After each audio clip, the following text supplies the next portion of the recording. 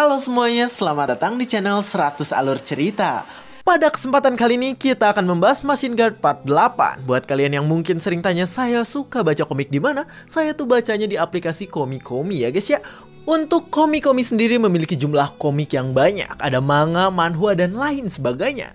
Bahkan genrenya pun sudah terstruktur, buat yang mau genre aksi ada, genre romance ada, genre apa pun sudah ada. Tinggal kalian pilih maunya apa, sudah disediakan semuanya.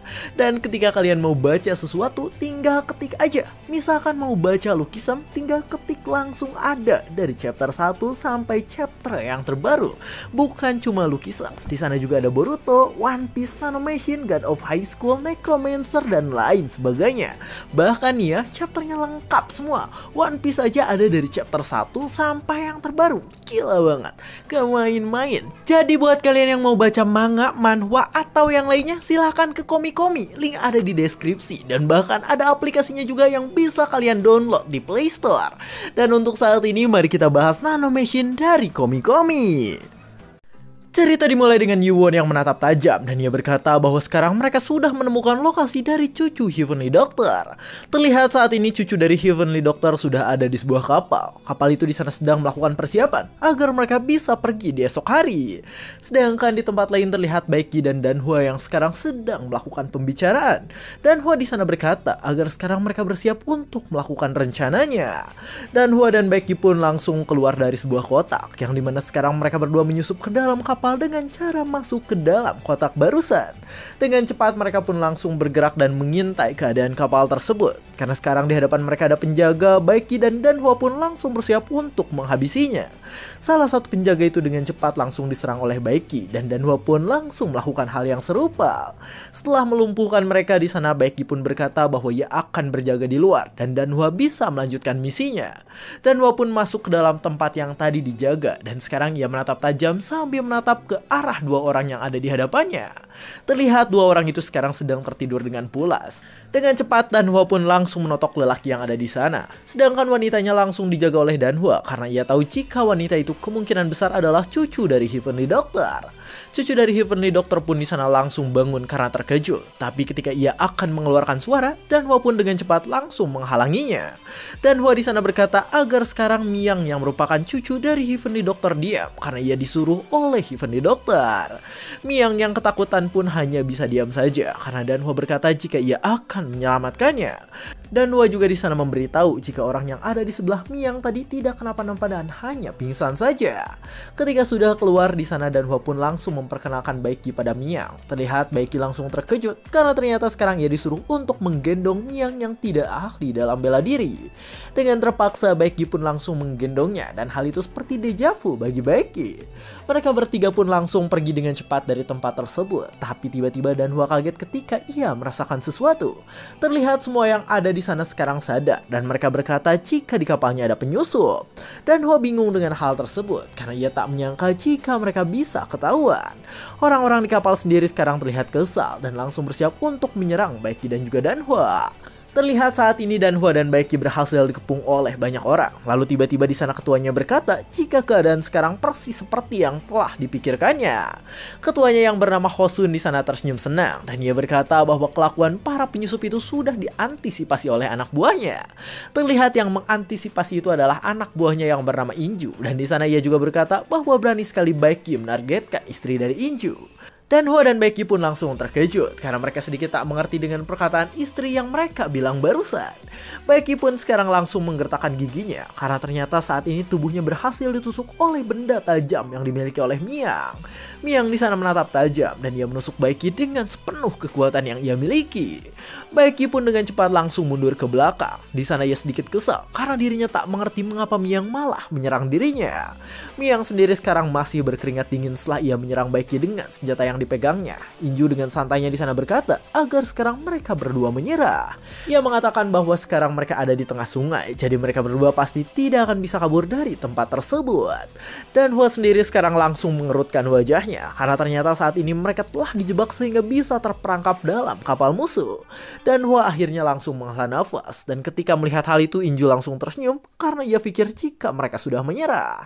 Saat para penjaga akan mengikat Danhua, di sana Danhua pun langsung menatap tajam dan dan dengan cepat ia langsung menghancurkan tali yang ada sehingga membuat si penjaga langsung ketakutan. Dan Hua menghancurkan tali itu dengan senjata yang ia punya dan terlihat saat ini ia dan Baiki akan melakukan pertarungan secara bersama. Inju tidak panik sama sekali dan ia berkata bahwa mereka ini sudah tidak ada harapan lagi karena tak mungkin ada yang bisa membantu mereka di tengah sungai. Dan Hua pun di sana langsung berkata bahwa ia tidak datang berdua saja. Ketika mendengar hal itu Inju langsung terkejut dan dengan cepat ia langsung berlari ke arah lain karena ingin mengetahui sesuatu. Di sana Inju mengecek keadaan di sebelah kapal saat ini dan terlihat di sana ada Yuwon yang sekarang sedang menggendong Heobong agar bisa masuk ke dalam kapalnya. Inju kaget bukan main ketika melihat hal itu, sedangkan Heobong langsung dilemparkan begitu saja sehingga ia cukup kesakitan. Terlihat semua orang yang ada di kapal itu pun sekarang mengeluarkan keringat dingin karena mereka ketakutan ketika melihat sesuatu. Inju juga saat ini ikut terkejut karena ia tak menyangka dengan apa yang ada di hadapannya. Terlihat saat ini di hadapannya ada Yuwon yang menaiki pedang terbang dan sekarang ia sedang menatap tajam sambil mengeluarkan aura mengerikan miliknya. Yuwon di sana memperhatikan keadaan sekarang dan ia berkata bahwa di kapal itu setidaknya ada 300 orang lebih. Yuwon juga di sana berkata bahwa meskipun di tempat itu ada banyak orang, tapi yang kuat hanya ada dua orang saja. Inju sendiri sekarang ketakutan ketika melihat Yuwon. Inju berkata bahwa teknik yang digunakan oleh Yuwon adalah teknik yang biasanya ia dengar dari legenda, tapi sekarang ia bisa melihat dengan mata kepalanya sendiri. Yuwon yang sekarang sedang menatap tajam pun di sana berkata bahwa Inju yang ada di hadapannya pasti adalah orang orang dari Blue Sky Union. Ketika mendengar hal itu, Inju pun kaget dan ia tak mengerti tentang mengapa Yuwon bisa mengetahui hal tersebut.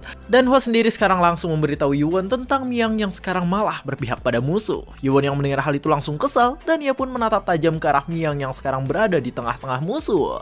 Sambil mengeluarkan kekuatan telekinesisnya di sana Yuwon berkata bahwa sekarang ia akan membawa kembali Miang yang telah mereka culik. Miang pun langsung berteriak kencang karena tubuhnya terbang dan di sana terlihat Miang langsung langsung berada di tengah-tengah Heobong dan Baiki. Miang mencoba untuk melawan dengan keadaan yang terjadi sekarang, namun Baiki di sana mendatanginya dan ia berkata agar Miang ini tidak melawan lagi. Yuan sendiri sekarang langsung turun ke bawah dan sambil bersiap mengeluarkan senjatanya di sana Yuan berkata agar sekarang Baiki ini mengurus Miang yang merupakan cucu dari Heavenly Doctor. Yuan pun di sana langsung melakukan sebuah serangan kuat sehingga serangannya tadi langsung menciptakan sebuah garis di antara ia dan para musuhnya. Yuan tersenyum senang dan ia berkata bahwa jika jika ada yang melewati garis tersebut, maka kepalanya akan langsung dipenggal. Inju yang melihat hal itu langsung berteriak kencang ke arah mereka semua. Inju di sana berkata bahwa Yuwon ini pasti sudah mencapai tingkat tertinggi dari bela diri, tapi tetap saja Yuwon pasti kesulitan jika harus menyelamatkan Miang yang ada. Yuwon yang mendengar hal itu langsung menyeringai dan sambil menatap dengan tajam di sana ia berkata bahwa ia pasti bisa melakukan hal tersebut dengan sangat mudah. Inju yang mendengar hal itu panik dan ia berkata bahwa Yuwon tak bergeming sedikit pun dengan dengan ancamannya. Huson yang merupakan ketuanya pun di sana langsung bertelepati dan ia berkata bahwa mungkin sekarang mereka harus mengancam Yuwon dengan seorang bayi dari Miang. Inju sendiri di sana langsung berpikir bahwa ancamannya sekarang pasti berhasil karena Yuwon memang harus menyelamatkan cucu dari Heavenly Doctor. Huson dengan santainya di sana langsung berkata bahwa anak dan suami dari Miang ada di pihaknya, jadi semuanya harus menuruti perkataannya. Dan Hua langsung terkejut ketika mendengar kata anak karena ia tak menyangka jika Miang ini sudah memiliki anak. Baiki sendiri sekarang langsung menatap Miang dan ia berpikir jika Miang mungkin bertindak gegabah karena ingin menyelamatkan anaknya. Miang pun di sana langsung terkejut karena Huson Huson berkata bahwa sekarang ia akan membunuh anaknya yang sedang berada dalam kabin kapal. Huson di sana berkata bahwa jika Yuwon menyerang atau membawa Miang, maka anak dari Miang akan langsung dibunuh oleh dirinya. Ketika mendengar hal itu, Heobong pun langsung kesal dan dia berkata bahwa mereka itu sangatlah pengecut karena menjadikan seorang anak kecil menjadi sandra. Inju tak peduli dengan hal itu dan dia berkata agar sekarang Yuwon bekerja sama dengan dirinya saja. Yuwon yang mendengar hal itu pun langsung berkata bahwa ia tak mau melakukan hal tersebut. Injo yang mendengar hal itu langsung sedikit panik dan ia berkata bahwa Yuan harus mau karena Heavenly Doctor pasti tak ingin cucu atau cicitnya kenapa-napa. Yuan yang mendengar hal itu pun langsung menatap tajam dan ia berkata agar sekarang semua anak buahnya membunuh semua musuh yang ada. Injo yang mendengar hal itu langsung terkejut dan ia berkata bahwa Yuan sekarang benar-benar sudah gila. Yuan sendiri tak memperdulikan hal itu dan di sana ia malah langsung membantai semua orang yang ada di hadapannya. Yuan menggunakan telekinesisnya dan dengan cepat ia langsung mengambil senjata tulang putih yang merupakan andalannya. Inju dan semua orang yang ada pun langsung ketakutan dengan hal tersebut. Sedangkan Huson di sana marah dan ia bertanya apakah Yuan ini ingin anak dari Miang mati dengan mengenaskan. Yuan sendiri malah tersenyum mengerikan dan dia berkata jika anak dari Miang itu tidak ada di sana, jadi semuanya akan baik-baik saja. Huson langsung kesal dan dia berkata agar sekarang anak buahnya ini membunuh anak dari Miang. Huson terus mencoba melakukan provokasi provokasi pada Yuan, tapi sayang sekarang ia malah terkena sebuah serangan. Para anak buahnya pun langsung terkejut bukan main ketika melihat hal tersebut. Sedangkan Huson di sana hanya bisa terdiam karena ia tak menyangka jika sekarang lengan yang ia miliki telah terkena sebuah serangan. Terlihat tangan milik Huson pun langsung terputus karena Yuan tadi melakukan sebuah serangan yang mematikan. Yuan langsung tertawa kecil dan dengan wajah meledeknya di sana ia bertanya, mengapa sekarang mereka tidak membunuh bayi yang dijadikan Sandra? Orang-orang yang ada di sana pun hanya bisa terdiam karena mereka tahu jika bayi itu tak berada di tempat tersebut. Yuan sendiri sekarang langsung menginjak tubuh Huson menggunakan kakinya dengan sangat kencang. Semua orang yang ada di sana langsung terkejut dan mereka mencoba untuk memanggil Huson yang merupakan ketuanya. Huson saat ini kesakitan setengah mati dan dari mulutnya sekarang keluar darah yang cukup banyak. Yuan yang menginjaknya pun lagi-lagi mengintimidasi Huson dan ia berkata bahwa Huson ini tidak akan pernah bisa menipu dirinya. Hebong yang melihat hal itu pun langsung tersenyum senang dan ia berkata bahwa Yuan ini benar-benar hebat. Dan Hua yang melihat hal itu pun langsung berkata jika Yuan memang luar biasa karena ia pikir jika Yuan ini bisa mengetahui telepati yang dilakukan oleh orang lain. Meski begitu sekarang Dan Hua juga berpikir bahwa satu-satunya masalah sekarang adalah Miang yang mungkin nanti akan menyerang lagi. Inju sendiri sekarang ketakutan dan ia berpikir tentang bagaimana caranya Yuan bisa mengetahui jika bayi dari Miang tidak berada di sana. Inju langsung melakukan telepati pada bawahannya yang berada di kapal dan di sana Inju menyuruh para bawahannya itu untuk membunuh bayi dari Miang jika nanti terjadi hal yang tak diinginkan. Inju di sana merasa kesal dan ia bertelepati jika sekarang semuanya tidak boleh berjalan seperti yang Yuwon inginkan. Semua anak buah Inju pun langsung mengangguk karena mereka mengerti dengan perintah dari Inju barusan. Dengan cepat mereka langsung bergerak sesuai dengan perintah Inju. Mereka di sana pergi ke sungai dan bersiap untuk pergi dari kapal tersebut. Inju yang melihat hal itu langsung tersenyum dan ia berkata bahwa sekarang Yuwon pasti akan kalah ketika bayinya telah didapatkan. Yuan sendiri di sana bisa merasakan kelakuan Inju pada saat ini. Sedangkan si ketua yang tadi diinjaknya langsung berkata jika ia menyerah dan ia akan membiarkan mereka semua pergi dengan mudah. Yuan yang mendengar hal itu malah tersenyum dan dia berkata bahwa meskipun Huson menyerah, tapi Inju yang merupakan bawahannya tak berpikir seperti itu. Huson yang mendengar hal itu pun langsung terkejut. Lalu sambil menginjak Huson di sana Yuan mengatakan jika Huson ini sudah tidak berguna. Yuan pun langsung menginjak Huson hingga tewas sehingga membuat semua anak buahnya marah besar. Saat diserang oleh anak buahnya Yuan pun langsung bergerak dengan santai. Para anak buah Huson langsung terkejut karena tadi Yuan menghilang walaupun pergerakannya terlihat tenang. Yuan sendiri sekarang sudah sampai ke tempat Inju dan dia berkata bahwa Inju ini pasti akan melakukan trik murahan lagi. Sambil memperhatikan anak buah Inju yang kabur, Yuan pun langsung mengeluarkan kekuatannya. Terlihat semua pedang yang ada pun langsung terbang berkat telekinesis milik Yuan. Pedang-pedang itu terbang di langit, sedangkan para anak buah Inju sekarang berusaha kabur dari tempat tersebut dengan cara berenang. Yuan langsung menatap tajam dan ia berkata bahwa dirinya bisa dengan mudah menangkap semua yang sekarang ada di dalam sungai. Tiba-tiba di sana pun ada seseorang yang bergerak cepat. Terlihat yang bergerak adalah Inju dan sekarang ia langsung bersiap untuk menyerang Yuan yang sedang fokus dengan kekuatannya. Yuan yang sudah merasakan keberadaan Inju di sana santai saja. Lalu dengan cepat ia pun langsung melakukan sebuah serangan ke arah Inju yang tadi datang pada dirinya. Inju langsung ketakutan dan di sana ia tidak menyangka jika Yuan ini bisa menahan serangan serangannya dengan sangat mudah. Pedang-pedang yang ada sendiri sekarang langsung melesat cepat, sedangkan Yuan di sana berkata bahwa trik kotor Inju tidak akan bisa mengganggu dirinya yang sudah mencapai tingkat tertinggi. Pedang-pedang Yuan pun langsung mengenai beberapa orang yang ada di sungai sehingga mereka langsung berteriak kencang. Lalu dua orang yang selamat langsung berkata agar mereka menyelam supaya tidak mati akibat serangan yang dilakukan oleh Yuan saat ini. Serangan Yuan pun di sana langsung mengarah pada mereka. Namun beruntung mereka berhasil menyelam sehingga serangan Yuan tadi tidak membunuh mereka berdua. Inju langsung tersenyum senang dan dia mengatakan jika itu bagus karena sekarang ada dua orang yang selamat. Inju langsung mengatakan bahwa kedua orang itu saat ini akan pergi ke tempat bayi dari Mia, jadi Yuan harus menyerah sekarang. Yuan langsung tersenyum merendahkan, dan sambil mengeluarkan kekuatannya di sana Yuan memanggil Dan Hua yang merupakan anggota miliknya. Dan Hua langsung mengepalkan tangannya karena sekarang di sana ada sebuah pedang yang melayang akibat kekuatan Yuan. Dan Hua sedikit bingung karena ternyata saat ini ia disuruh untuk menaiki sebuah pedang yang melayang. Namun meski begitu dan Hua pun langsung menaikinya dan di sana ia langsung bermanuver layaknya bermain skateboard yang dikendalikan oleh Yuan. Inju kaget bukan main ketika melihat hal tersebut karena ia tak menyangka jika Yuan akan menggunakan kekuatannya seperti itu. Dan Hua sendiri sekarang bergerak cepat melewati sungai dan ketika sudah sampai di daratan ia pun langsung meloncat dan bersiap untuk bertarung kembali. Dan Hua sekarang sudah sampai di darat, sedangkan anak buah Inju saat ini masih berenang di tengah sungai. Yuan pun langsung berkata bahwa sekarang yang datang ke daratan duluan adalah Danhua. Jadi sudah pasti anak buah Inju nanti akan mati ketika sampai di daratan. Inju mulai berkeringat dingin. Di sana ia tak mengerti mengapa Yuan ini menggunakan kekuatannya yang luar biasa sebagai transportasi. Yuan juga sekarang berkata bahwa bayi dari Miang ada di kediaman master mereka. Jadi nanti Yuan pasti bisa mendapatkannya. Inju makin ketakutan ketika mendengar hal tersebut. Karena ia tak menyangka jika Yuan ini bisa mengetahui semua informasi dari telepati. Sambil memperhatikan Yuwon yang ada di hadapannya, Inju berkata bahwa Yuwon ini adalah masalah terbesar yang harus ia selesaikan sekarang. Para pasukan Inju sendiri sekarang sudah mulai kena mental karena mereka takut dengan kekuatan Yuwon yang tak masuk akal.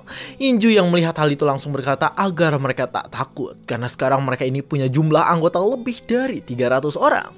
Wakil ketua yang ada di sana pun langsung menggertakkan giginya. Ia berkata bahwa melawan monster seperti Yuwon sudah di luar kapasitasnya. Inju terus menggertak dan ia berkata bahwa Yuwon hanya satu orang, jadi semuanya pasti bisa selesai dengan mudah. Namun tiba-tiba di sana topi Inju hancur karena ia terkena sebuah serangan yang cukup cepat. Karena tak mengenai tubuh Inju, di sana serangan tadi pun langsung mengenai para anak buah kapal yang berada di tempat tersebut. Yuan sendiri sekarang langsung bersiap untuk menyerang sehingga membuat Inju ketakutan dengan hal itu. Inju langsung mengangkat pedangnya dan sambil bersiap menahan serangan Yuwon, ia berkata bahwa keadaan sekarang sangat-sangat berbahaya. Pada akhirnya Yuwon pun langsung melancarkan sebuah serangan pada Inju yang sekarang ada di bawahnya. Tubuh Inju mulai bergetar dan ia berkata bahwa kekuatan Yuwon ini sangat tidak masuk akal karena sangat kuat. Terlihat tubuh Inju pun sekarang langsung terdorong hingga menghancurkan badan kapalnya saat ini. Inju di sana berkata bahwa sekarang ia akan mengumpulkan kekuatannya dan setelah itu ia akan langsung kabur dari tempat tersebut. Terlihat Inju pun mencoba untuk mengumpulkan kekuatan di punggungnya sehingga sekarang bagian dari kapal itu hancur dan tertembus ke bawah. Inju di sana berkata bahwa saat ini ia akan kabur dengan cara melubangi kapal yang dinaikinya sekarang. Namun tiba-tiba ia terkejut karena tubuhnya saat ini malah melayang akibat kekuatan dari Yuwon. Inju kaget ketika melihat hal tersebut karena ia tak menyangka jika telekinesis Yuwon bisa mengangkat tubuh seseorang. Yuwon pun langsung tersenyum dan di sana ia langsung membuat Inju terbang di hadapan dirinya saat ini. Inju mencoba mengeluarkan kekuatannya dan ia berkata bahwa kelakuan yang Yuwon lakukan sekarang sangat mustahil untuk dilakukan dilakukan oleh manusia. Meski begitu sekarang Inju tak takut dan dia langsung mengeluarkan kekuatannya agar bisa menyerang Yuan yang ada di bawahnya. Yuan langsung tersenyum dan dia berkata bahwa kelakuan Inju saat ini tak ada gunanya karena ia bisa mengalahkan Inju dengan sangat mudah. Yuwon pun langsung menggunakan teknik Blade Guard miliknya, sehingga di sana tercipta sebuah bayangan naga yang bisa membantai Inju. Serangan mereka berdua saling beradu satu sama lain dengan sangat kuat. Inju panik, dan ia berkata bahwa serangan Yuwon tidak ngotak, karena bisa memberikan damage besar walaupun berada di bawah. Serangan Yuwon di sana bergerak lebih cepat, sehingga di sana Inju berkata bahwa sekarang dirinya pasti akan tewas. Terlihat Yuwon pun langsung berhasil melancarkan sebuah serangan beruntun ke arah Inju yang ada di hadapannya. Inju berteriak kesakitan, karena Yuwon menyerang semua bagian tubuhnya dengan pedang tajam yang ia miliki. Yuan sendiri sekarang memperhatikan Inju terus-menerus dan ia berkata bahwa Inju ini masih belum boleh mati. Pada akhirnya di sana Yuan pun langsung menebas tangan milik Inju sehingga Inju berteriak semakin kencang. Lengan Inju terlepas dari tubuhnya, sedangkan Inju di sana hanya bisa diam memperhatikan keadaannya sekarang. Di hadapan Inju saat ini ada seorang demon killer yang di mana ia adalah Yuan sang pemimpin dari kultus iblis dunia. Inju tak bisa bergerak sedikit pun karena sekarang tubuhnya dipenuhi luka yang mengerikan. Lalu tiba-tiba Yuan pun mengarahkan tangannya pada tubuh Inju. Inju di sana bingung dengan hal tersebut dan ia bertanya dengan apa yang akan dilakukan oleh Yuan saat ini. Yuan yang mendengar hal itu langsung tersenyum dan dia berkata bahwa sekarang dirinya akan melakukan sesuatu. Terlihat di sana Yuan pun langsung melancarkan aliran listrik yang sangat kuat pada tubuh Inju sehingga Inju berteriak dengan sangat kencang. Dan cerita pun bersambung. Anjay, dibantai habis-habisan. Satu kapal beldak-belduk habis sama Yuwon sendirian ya guys ya, sangat mengerikan. Dan ingat teman-teman, buat kalian yang mau baca manhwa kaya Nanomation ini, bisa langsung ke Komi-Komi. Dan lanjutan dari chapter ini yaitu chapter 164 bisa kalian baca di Komi-Komi. Tinggal ketik aja Nanomation, nanti akan muncul. Jangan lupa di Komi-Komi juga kalian bisa baca manhwa atau manga apa pun.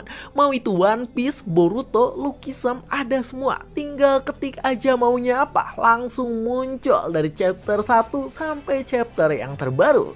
Dan untuk link komik-komik sendiri akan saya simpan di deskripsi dan juga kolom komentar. Jadi tunggu apa lagi? Silahkan download komik-komik di Play Store. Dan kalian bisa baca manhwa, manga, atau apa pun yang kalian mau.